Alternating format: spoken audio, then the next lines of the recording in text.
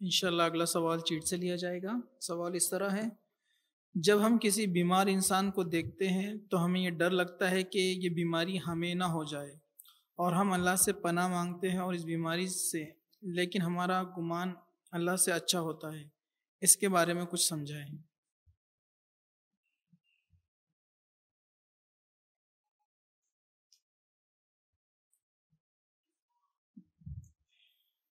کسی نے سوال کیا جب ہم کسی بیمار انسان کو دیکھتے ہیں، تو ہمیں یہ ڈر لگتا ہے کہیں یہ بیماری ہمیں نہ ہو جائے۔ اور ہم اللہ سے پناہ مانگتے ہیں اس بیماری سے۔ لیکن ہمارا گمان اللہ سے اچھا ہوتا ہے۔ اس کے بارے میں کیا کہ دیکھیے، کسی بیماری کو دیکھ کر اللہ سے پناہ مانگنا کہ اللہ ایسی بیماریوں سے ہمیں محفوظ رکھ، یہ کوئی مسئلہ نہیں ہے، اس میں کوئی حرج نہیں ایسا آپ کر سکتے ہیں۔ رہا معاملہ جب کسی بیمار کو دیکھے تو آپ کو لگتا ہے ڈر لگتا ہے کہ بیماری آپ کو ہو جائیں گی۔ بیماری اللہ تعالیٰ دیتا ہے۔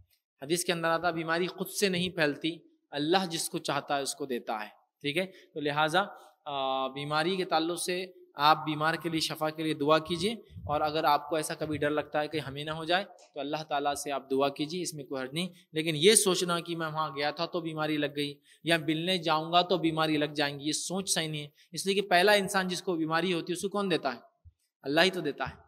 بیماری اللہ کی طرف سے ہوتی ہے ٹارگیٹڈ ہوتی ہے، کس کو لگنا، کس کو نہیں لگنا، وہ بالکل اس تک پہنچ جاتی ہے، ٹھیک ہے؟ تو بہرحال یہ گمان مت کیجیے آپ پہلے تو بد یہ کہ مجھے بیماری نہ ہو جائے۔ ہاں آپ یہ کر سکتے ہیں، اللہ ایسی بیماری ہم کو نہ دے۔ لیکن یہ ڈر رکھنا نہیں، ہم کو نہ لگ جائے یا ہم کو تو نہیں ہو جائیں گی، یہ غلط ہے۔ لیکن یہ دعا کرنا کہ اللہ ہم کو نہ لگے، اس میں ان شاء اللہ کوئی حرج نہیں۔